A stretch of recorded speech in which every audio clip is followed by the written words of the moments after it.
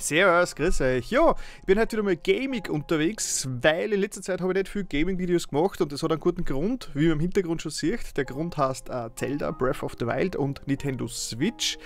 Ich habe natürlich nicht viel anderes gespielt, außer Zelda Breath of the Wild und ich habe mir gedacht, ich bin nur überhaupt nicht weit und äh, genießt das Spiel aber ziemlich und ich mache trotzdem ein kurzes Video, einfach nur ein, ein Update-Video, ein Zwischenstandsvideo so quasi, äh, mal herzusagen, wie weit ich schon bin und wie meine Eindrücke zum Spiel sind. Also das ist jetzt ne, kein Test und kein Review und das, sonst, das ist meinetwegen ein Let's Play oder äh, ein Let's Update.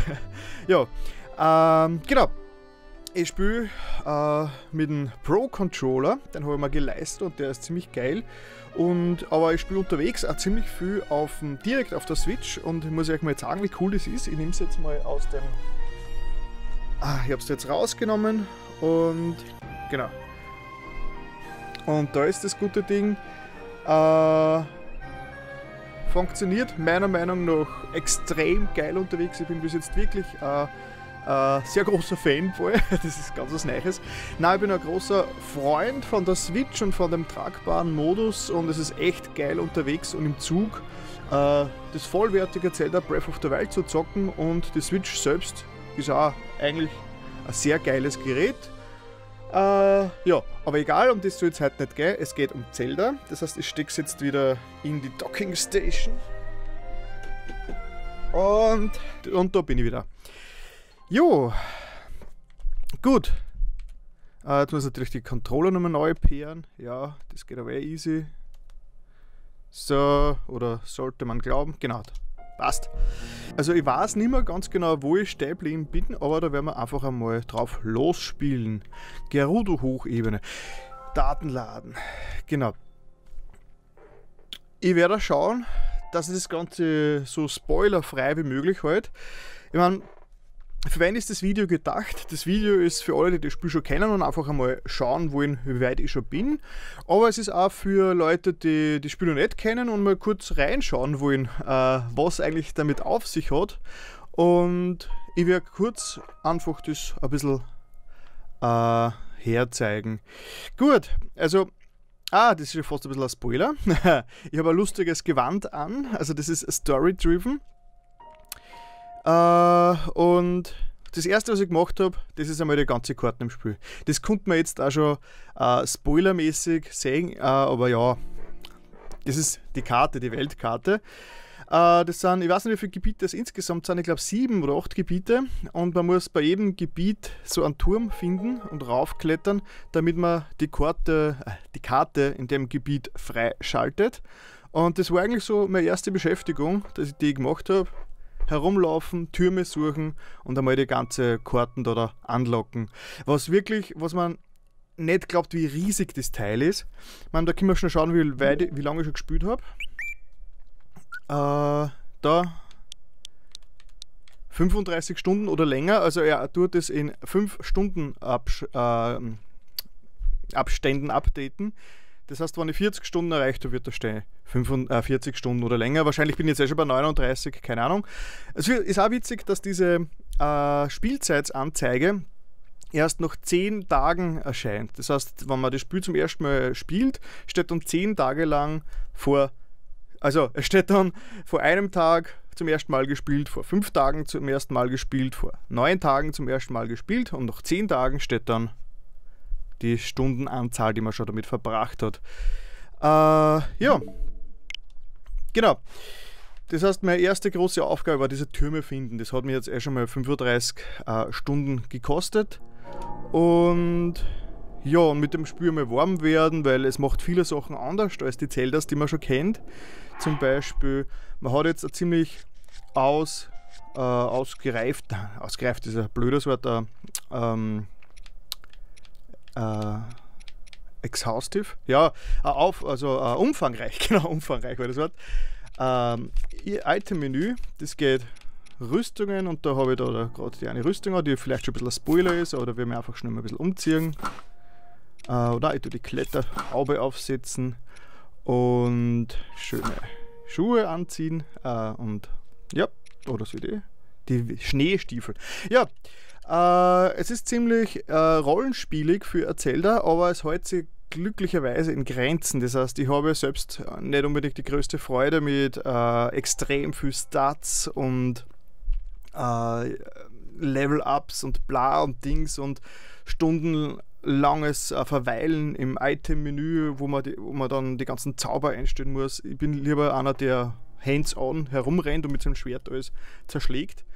Das ist da, so Mittel, das heißt, äh, es gibt schon Stats, das heißt, die Zahl, die da daneben steht, da neben Gewand ist die, ist die Stärke und die wird dann zusammen addiert. Das heißt, ähm, ja, das heißt, ich habe jetzt, drei, hab jetzt drei Kleidungsstücke an, die jeweils fünf äh, Schadensbegrenzung haben. Also insgesamt, sieht man da unten, habe ich äh, Defense für 15. Dann das gleiche auch bei den Schildern, bei den Bögen und bei den Schwertern. Ja, ich werde mir jetzt einfach einmal wohin teleportieren, nämlich äh, da, wo ich am wenigsten spoile, nämlich äh, am besten zum großen Plateau, obwohl ich gerade vergessen habe, wo das ist. Genau, das müsste das, das, oder warte mal, na, Hyrule Gebirge. Fuck, ich war schon so lange nicht mehr bei der Anfangsebene, dass ich gar nicht mehr weiß, wo die ist. Genau, da ist sie, da ist die Anfangsebene, das Plateau. Wenn man einmal bestimmte Punkte gefunden hat, kann man sie dort jederzeit hin teleportieren. Das geht eigentlich recht fix. Die Ladezeiten halten sich in Grenzen. Das heißt, das sind, ich habe es nicht gestoppt, aber ich werde es jetzt stoppen und dann einblenden. Das heißt, ihr seht jetzt äh, irgendwo da, irgendwo eingeblendet, wie lange die Ladezeit da gerade ist. Ähm, und man kann während der Ladezeit Tipps anschauen, die eigentlich immer kontextabhängig sind. Das heißt, die Tipps sagen immer ähm, recht gut, was gerade, also das passt immer zur Situation, wo man sich gerade befindet und was man gerade macht, was an Tipps angezeigt wird. Das ist ganz praktisch. So, und jetzt bin ich wieder beim äh, Anfangsbereich. Das heißt, da im Plateau geht ja das Spiel los. Und ja, mit dem allerersten Turm bin ich jetzt. Und die Weitsicht ist auch ziemlich geil. Das heißt, inzwischen war ich schon überall. Das heißt, äh, das, alles, was man da sieht, da kann man auch hinmarschieren. Schau, da kann ich dann auch mit dem Gyrosensor vom. Das ist zum Beispiel da so ein Turm. Da war ich auch schon, weil der ist jetzt, der ist blau. Das heißt, man, der sagt man, ich habe ihn schon freigeschalten. Das da ist einer von den berühmten Schreine. Da gibt es 120 im ganzen Spiel. Und bei jedem Schrein, das sind so Mini-Dungeons. Und bei jedem Schrein, und da unten ist auch so ein Mini-Dungeon. Und bei jedem Schrein kann man, äh, kriegt man also ein, ein Item, so ein Sammel-Item mehr oder weniger, ein Collectible und das kann man dann gegen Lebensenergie eintauschen. Ja, ich habe noch nicht so viel Herzen, weil ich muss ehrlich sagen, ich bin die meiste Zeit herumgelaufen und habe äh, Türme gesucht und habe Sightseeing gemacht, weil das ist echt arg, in dem Spiel drin kann man echt äh, Stunden verbringen, ohne irgendwas weiterzubringen, indem man einfach durch die Gegend läuft. Wie man sieht, jetzt ist gerade 19.25 Uhr, die Sonne geht gerade unter und Sonnenuntergänge und Aufgänge sind immer eine ziemlich eine, äh, eine leibende Geschichte, schauen, schauen immer optisch sehr cool aus. Ähm, zur Story möchte ich nicht viel verraten, ist recht interessant gelöst, ist jetzt typisch Zelda nicht die aufwendigste Story, aber ist ganz witzig erzählt und ja, äh, man muss insgesamt vier Dinge erledigen und dann kann man den Endgegner besiegen. Man konnte aber schon am Anfang besiegen. Theoretisch kann man wirklich von Anfang an mehr oder weniger direkt zum Endgegner hingehen und den Endgegner äh, bekämpfen, aber man wird zu schwach sein. Das, was man da hinten sieht, ist auch so ein Strahl. Äh, ja, und insgesamt müssen wir da so vier Strahlen quasi schaffen und dann ist der Endgegner besiegbar. Ja, äh, genau. Was kann man jetzt sagen? Äh, Tagebuch, ja, es gibt da die Hauptziele, besiege Ganon, das ist ziemlich cool. Das allererste, also gleich am Anfang vom Spiel spielt man und nach ungefähr einer halben Stunde oder was kriegt man auf einmal äh, die Hauptquest, besiege Ganon. das ist ziemlich schräg. Äh, ja, äh, aber inzwischen bin ich schon über 30 Stunden weiter. Ja, dann gibt es spezielle Schreine, die, die sind mit Rätseln verbunden. Das heißt, die muss man, da muss man Rätsel lösen, dass sie die freischalten. Nebenaufgaben gibt es auch Dutzende. Das ist die, die üblichen äh, ja, Fetch-Quests meistens, die man eh kennt. Und Erinnerungen ist die Art, wie die Geschichte erzählt wird. Man findet regelmäßig im Spiel äh, Punkte, wo, wo der Link, äh, er hat natürlich Amnesie, das heißt, der Link weiß nicht, was passiert ist in den letzten 100 Jahren, hat geschlafen und es gibt insgesamt 18 Erinnerungen, die findet man an verschiedenen Punkten und das sind dann kleine Zwischensequenzen, die sogar äh, vertont sind mit Sprachausgabe und so und das ist recht äh, interessant gemacht und die erzählen dann, die Geschichte nonlinear quasi. Das heißt, man, man, die allererste Erinnerung, die ich gefunden habe, war zum Beispiel, ich glaube, die eine der letzten. Ich glaube, die da oder die da war die. Das heißt, habe ich eigentlich schon ziemlich fortgeschrittene Erinnerungen gefunden und habe noch gar nicht gewusst, was vorher passiert ist. Ähm, ja. Uah, genau, man bewegt sich die meiste Zeit auf seinem Parasegel fort. Das heißt, das kriegt man sicher am Anfang. Und egal, wenn man irgendwo runterspringt, kann man mit diesem Segel dann fliegen. Und je nachdem, wie groß man Ausdauer hat. Ja, also diese Ausdaueranzeige aus Skyward Sword ist auch wieder zurück. Ja, dann hat man einen Bogen und der ist jetzt gerade zerbrochen, weil äh, die Gegenstände sind alle äh, zerbrechlich. Das heißt, man kann sie nur eine bestimmte Anzahl äh, äh, oft benutzen und dann zerbrechen sie. Aber das Coole ist, man findet immer wieder was, das heißt man kann ah, die Gegner ah, reden und spülen. Bin ja nur schlechter als beim Spülen ohne Reden. Genau.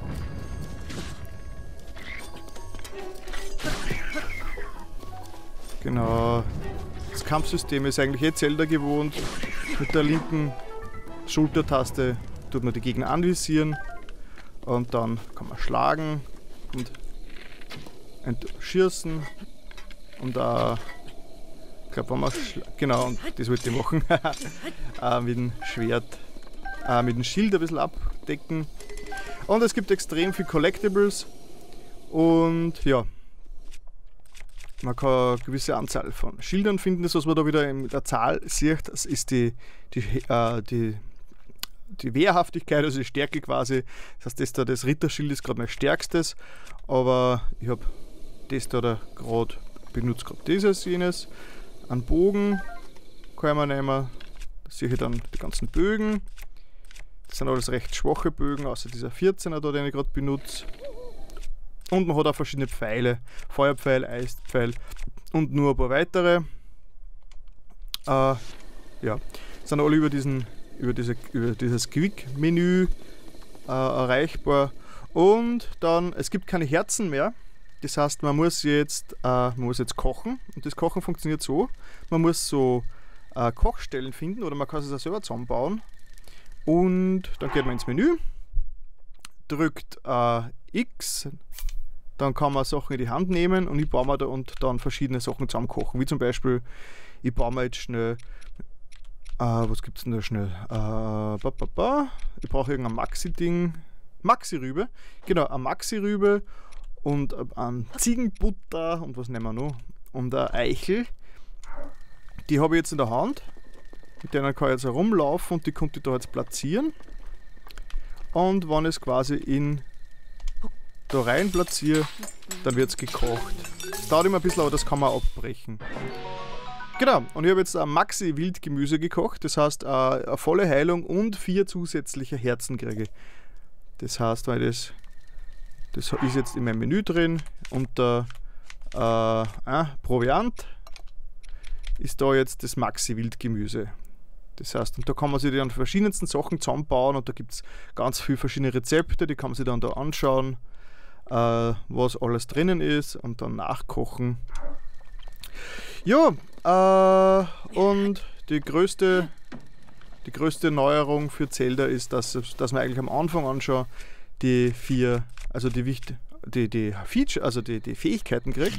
Zum Beispiel Bomben. Kann man, hat man unendlich viel, hat man ein bisschen einen Cooldown. Dann hat man ein Magnetmodul.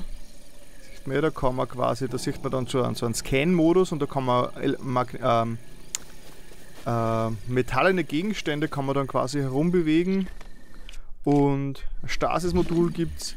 Da konnte ich da drüber gehen. Da drüben ist ein, drüben ist ein Gegenstand, den ich verwenden kann. Fliegen wir mal rüber. Wow, ein Köpfler.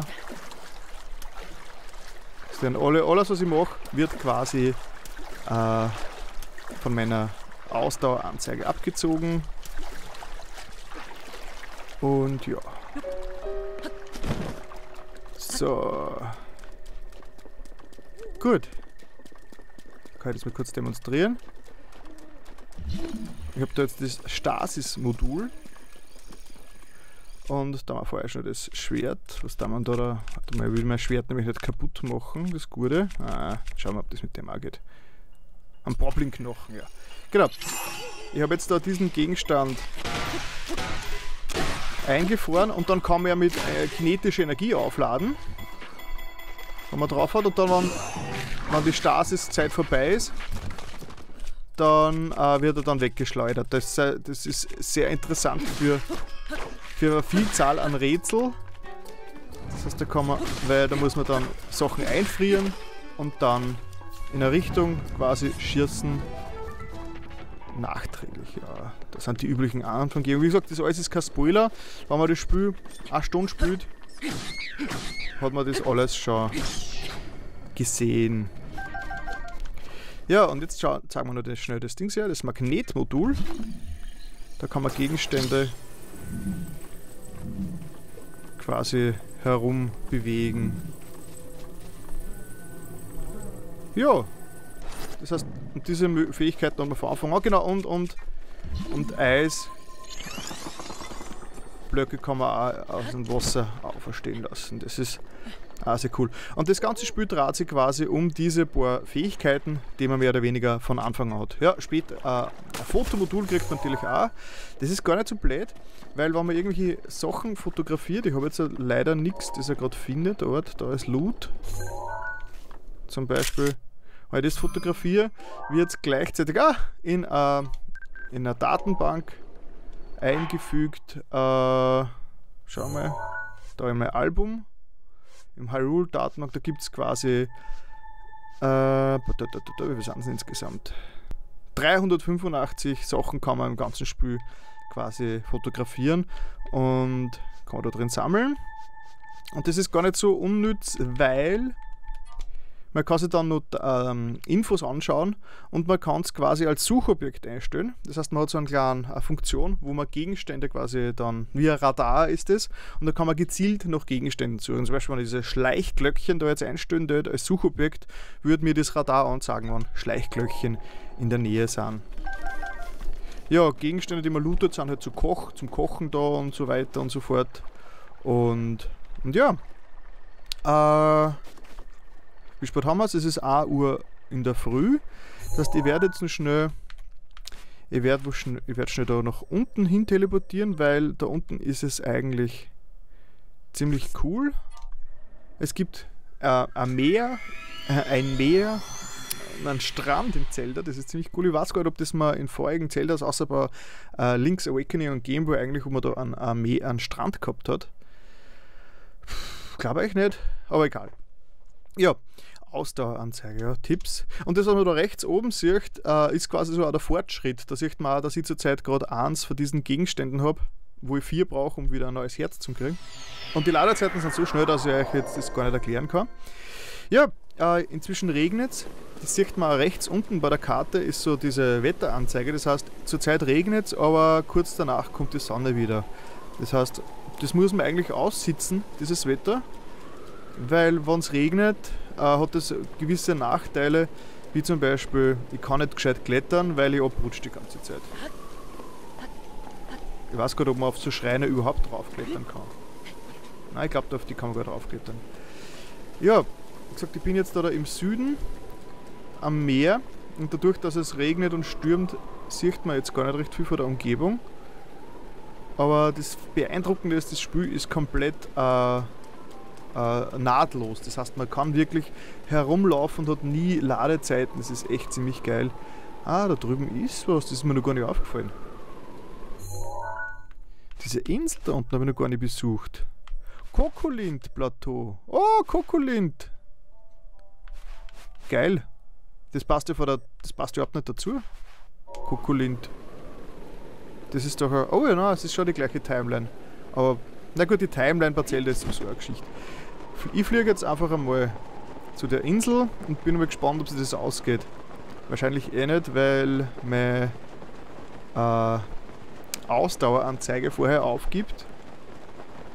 Ja, ich habe hab schon zwei von diesen Ringen, also eineinhalb von diesen Ringen. Jetzt ist der erste Ring ist vorbei und jetzt geht der zweite Ring gerade runter. Und ich befürchte, es geht sich nicht aus.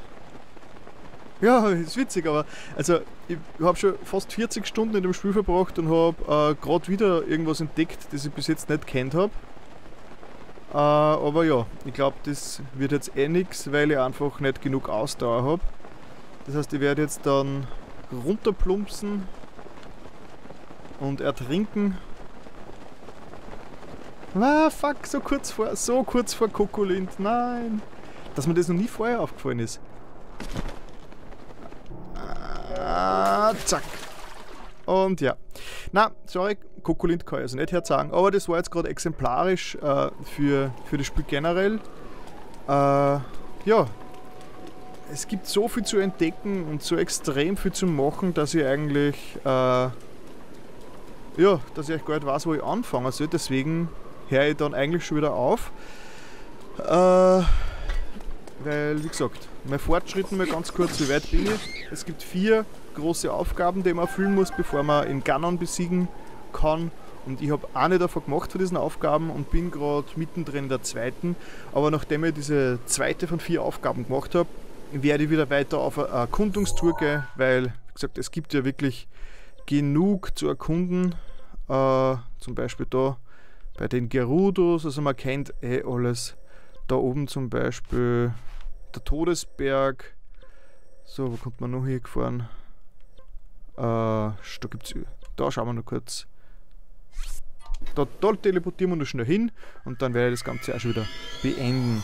Ja, im Prinzip ich war am Anfang extrem skeptisch, weil ich als alter Zelda-Fan habe natürlich diese, diese Linearität mögen, also diese, man, diese, dieses Prinzip am Anfang sind Sachen nur freigeschaltet und man muss, ähm, man muss äh, neue Gegenstände finden und dass man neue Gebiete freischaltet und so und äh, in jedem Dungeon kriegt man tolle neue Waffen und Gegenstände, das war cool, aber in Breath of the Wild ist es äh, auf eine andere Art cool, äh, die auch nicht zu unterschätzen ist. Also es ist ein, es ist ein Open-World-Spiel, das wirklich äh, den Namen alle Ehre macht. Da bin ich jetzt zum Beispiel im winterlichen Gebiet. Da friert der Link, wie man sieht, weil es ist kalt. Äh, da müsste man zum Beispiel das, äh, Gewand anziehen. Das zum Beispiel Schneeschuhe und was habe ich da noch? Genau, und ein Winterwams, aber es reicht noch immer nicht ganz, weil es da oben so kalt ist, deswegen müssen die mir auch ähm, da einen Kältetrank besorgen. Äh, Mache jetzt aber nicht, weil ich sage einfach her, wie cool das ist äh, und springe da einfach mit meinem Segel wieder hinunter. Und das, was man da im Hintergrund sieht, ist Schloss Hyrule, wo eben äh, der Ganon auf, also der große Endgegner, auf mich wartet. Und ja, und da konnte ich eigentlich jetzt direkt drauf hinfliegen. Ja, wie gesagt, 40 Stunden bin ich inzwischen drin im Spiel. Äh, die meisten. Und oh, das ist ja super, super, da geht die Sonne auf hinten. Das ist perfekt jetzt fürs Ende vom Video. Da fliege ich, da fliege ich jetzt.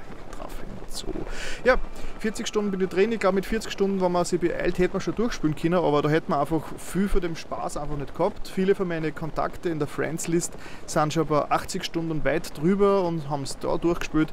Das heißt, das wird, die Zeit wird ihm auch nehmen, weil das nächste Zelda kommt sicher erst in drei, vier Jahren raus. Das heißt, warum jetzt beeilen?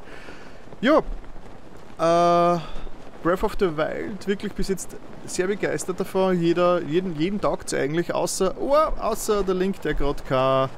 Bam! Yep. Haha, eigentlich ein perfekter Schluss. Ja, äh.